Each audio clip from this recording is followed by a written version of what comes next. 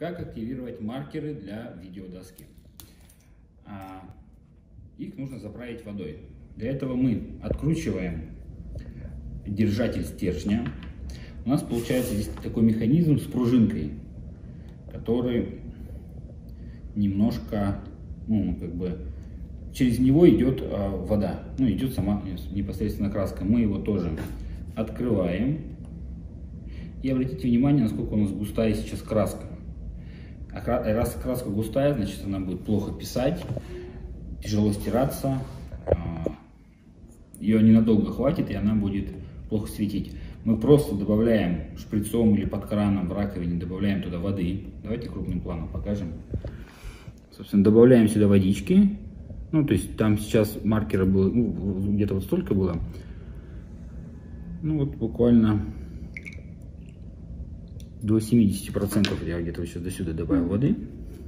Закрываем, закручиваем назад. То есть сейчас у нас мел разбавился водой, краска стала более жидкая. И уже после этого мы его хорошенько закручиваем и активируем. Что значит активируем? Нажать стержень и потрясти. Сейчас нам нужно перемешать хорошенько.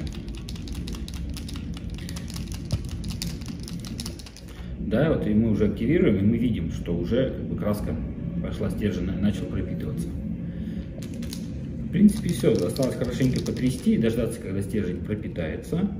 И можно будет писать. Сейчас также покажем, как их.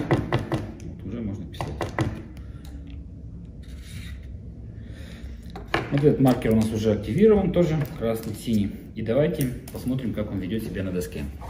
И вот, собственно, пультом можем уже писать. Это у нас получается синий. Можно выбрать другой цвет.